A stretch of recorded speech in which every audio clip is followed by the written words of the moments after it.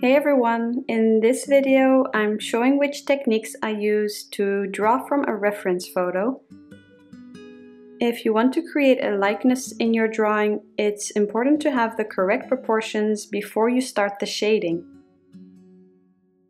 To make it easier for myself to get the correct proportions, I start by drawing some guidelines on my reference photo.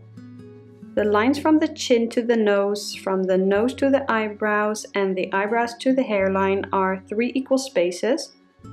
Those are the lines I always start with. In some portraits, these basic proportions can be different because everyone has their own unique features and proportions, so you will need to check that in the reference photo you will be drawing. Once I have the guidelines, I draw them onto my drawing paper and then I start drawing the facial features by looking back and forth. I always start with the eyes and then go from there. In this portrait, you see that the distance between her eyebrows and nose is a bit longer. So you will need to recreate that the same in your drawing as well. I also usually draw guidelines on the corners of the eyes, and normally the eyes and the space in between are also three equal spaces, but that can differ as well. If you're drawing a person from an angle, you will also have different proportions, so it's important to study your reference photo before you start and understand what you're drawing. If you don't have an iPad like I am using, you can also print out the reference photo and draw the guidelines with your pencil. It's easier if you make sure that your reference photo is the same size as your drawing paper.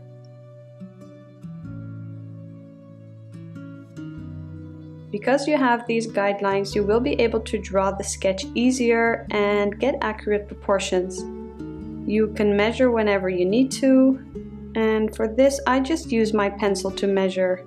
But if you want to be more accurate, you can also use a ruler. You want to make sure that your guidelines are light enough to erase later on. I'm using an HB pencil for the sketch. You also want to make sure that your tip isn't too sharp and that you're using light pressure when you're drawing the guidelines and your sketch because you might accidentally indent the paper if you press too hard on your pencil.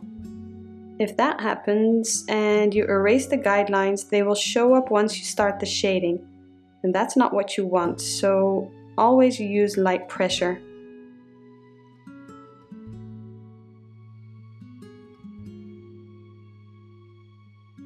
Take your time while sketching and try not to be too hard on yourself, especially if you're a beginner. Learning how to draw is a journey and takes time.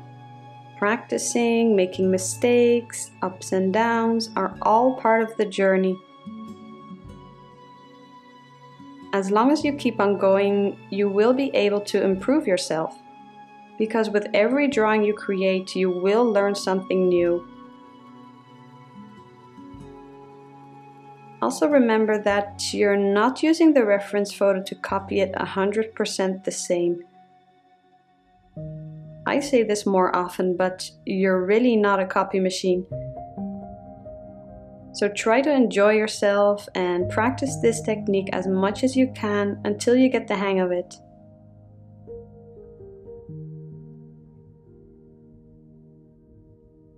So once you're happy with your sketch, you can erase the guidelines and start the shading. The real-time version of this tutorial is available in the membership. In the real-time drawing videos, you can follow my entire drawing process. While drawing, I think out loud, explain my techniques, and show you how to fix mistakes when they happen. Also the reference photos and my sketch outlines are all available to download. In every lesson I will show you how to draw the sketch step by step so you can learn to create your own drawings.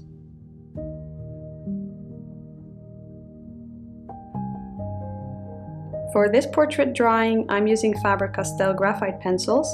Those are my favorite and I also use a black colored pencil for the darkest values where the graphite isn't dark enough. You can find the full material list under the video with all of the materials I use for my graphite pencil drawings.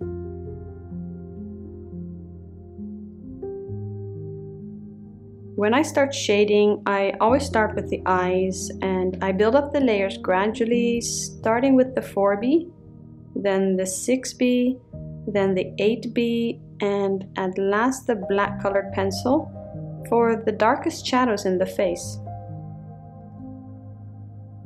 You also want to make sure you're shading your layers with light pressure because if you use hard pressure right away, you won't be able to layer over it or erase for the highlights.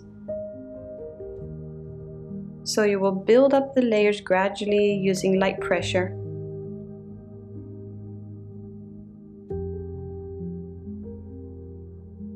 If you start by shading with the 4B graphite pencil with light pressure, and the value in your drawing isn't dark enough, you will move on to a darker graphite pencil like the 6B using light pressure. And if it's still not dark enough, you will use the 8B or black pencil with light pressure. Only if you're shading your last layer, you can use medium to hard pressure because you won't be able to erase over it that easy. So you want to make sure that you don't need to correct anymore.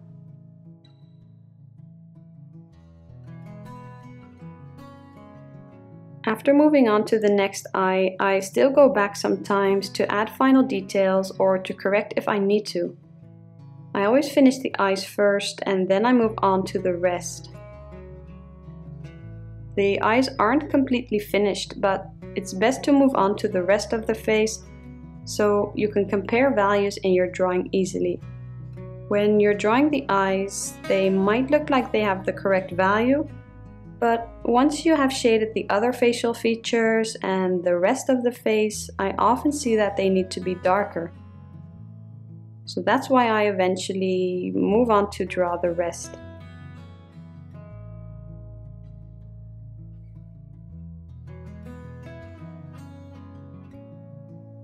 Also when you're drawing the eyes or the nose for example, you keep on focusing on that one part so you might not feel satisfied with how it looks now, or you see that something is not right, but not sure exactly what.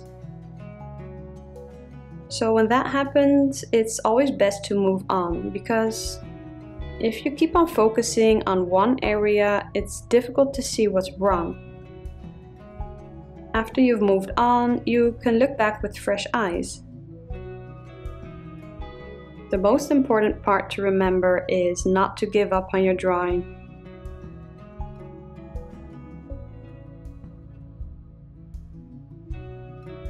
There are different stages you have to go through and there are always some parts or some moments that you're not satisfied or you feel like it isn't going to turn out that good. We all have these feelings. You're not the only one. So, when you feel like this, just take a break and continue another time. Whatever you do, don't give up. Because if you don't keep on going, you will never be able to learn from your mistakes and be able to improve. You will keep on making the same mistakes and keep on giving up on your drawings.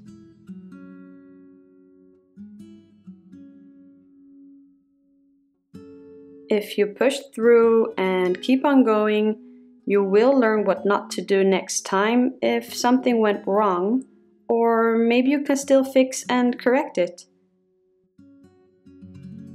With every drawing you create, you will learn something new, so just keep on going.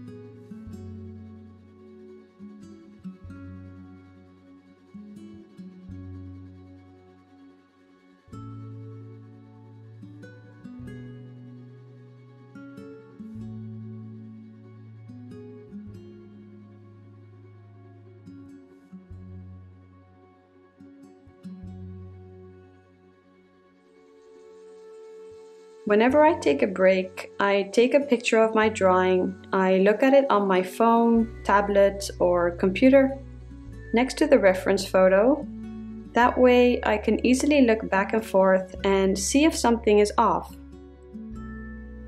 I look at the proportions, I look at the values to see if the shadows are dark enough or the highlights light enough.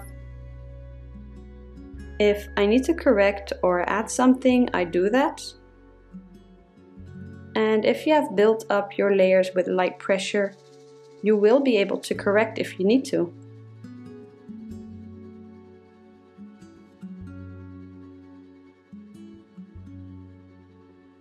The highlights and shadows is what will make your drawing look round and 3D, so make sure you have the correct values if you want your drawing to look realistic.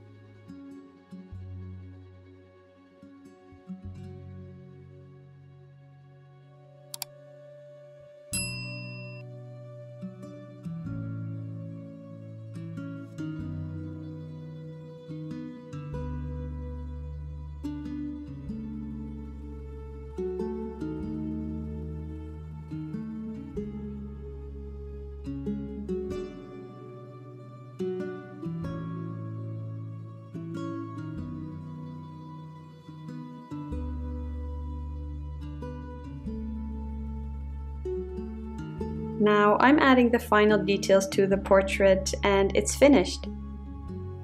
I really hope you were able to learn something. If you have any questions, just leave a comment under the video and if you enjoyed the video, please give it a like.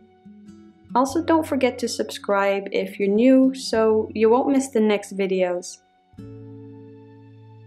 Thank you so much for watching and I'll see you in the next video.